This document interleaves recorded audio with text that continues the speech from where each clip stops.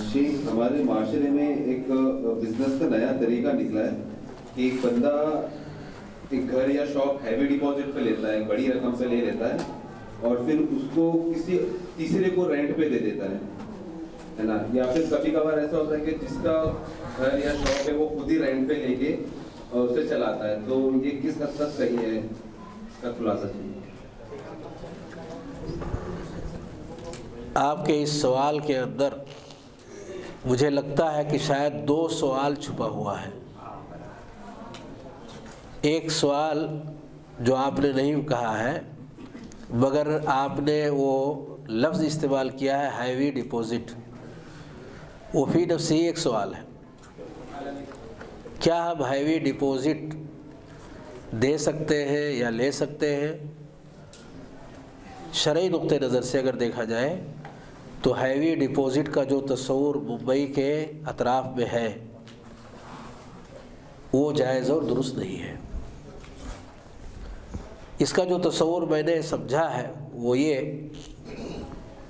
कि अगर रेट पर आप कोई फ्लैट ले रहे हैं तो अगर पाँच हज़ार उसका माहाना रेट है, हाईवे डिपॉज़िट आप देते हैं तो आपको रेट देने की ज़रूरत नहीं है। यानी दो लाख, तीन लाख रुपए अगर आप दे दिए तो रेट आपके ऊपर से उठा लिया जाता है। या अगर रेट रखा जाता है तो बरए नाम, पाँच सौ, एक हज़ार रुपये इसे, कि नाम रहे कि हाँ किराया भी चल रहा है। तो ये चीज़ जायज़ और दुरुस्त नहीं है। क्यों? अभी जो हमने उसको दिया हुआ है सेम वही मकदार में पैसे हमें टोटल वापस मिलने वाले हैं। आज नहीं, आज न सही तो कल वो हमारे हाथों में होंगे। तो गोया कि पैसे हमने कर्ज़ दिए और कर्ज़दार ने कुछ दिनों के बाद वो पैसे हमें सेम वापस कर दिए।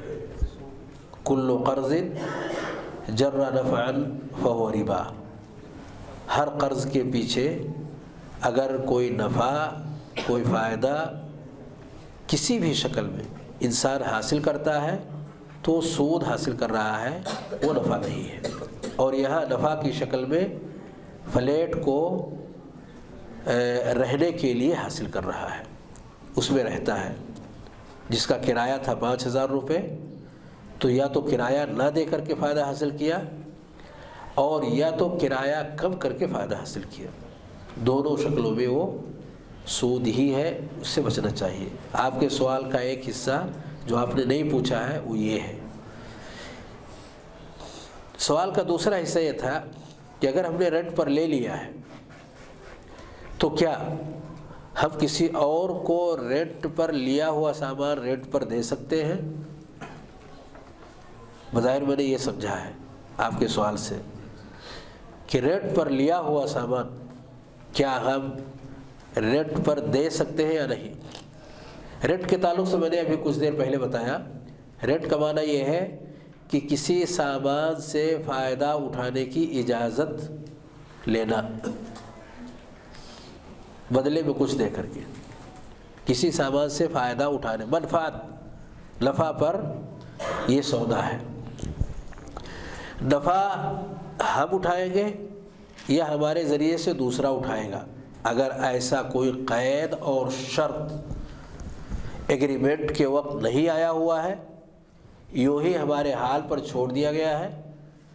तो हम किसी और को रेट पर दे सकते हैं।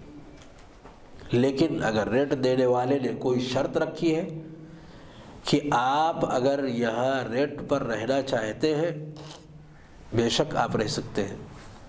आप किसी और को बसाना चाहते हैं, मेरी इजाज़त के बगैर नहीं। मेरी इजाज़त के बगैर नहीं, वो बेहतर जानता है कि हमारे फ्लैट में किसको रखना है, किसको नहीं।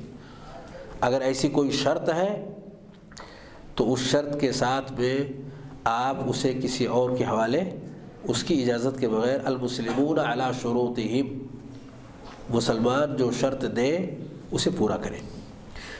तो इस एतबार से रेंट पर लिया हुआ सामान अगर बिला शर्त है, हमारे हाल पर छोड़ दिया गया है तो हम किसी और के ज़रिए से, किसी और को रेंट पर दे करके उससे फ़ायदा उठा सकते हैं। मिसाल के तौर पर हमने एक साल के लिए लिया, मुश्किल से दो महीना यूज़ किया और फिर अपने घर की तरफ़ मुंतकिल हो गए। अब हमारे सामने दस माह हैं, क्या हम अपने किसी साथी को दे सकते हैं? दे सकते हैं। अगर कोई शर्त उसने नहीं रखा है, इसमें कोई हर्ज की बात नहीं है।